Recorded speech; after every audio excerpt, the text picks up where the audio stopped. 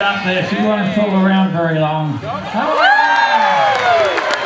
That's great, isn't it? Great.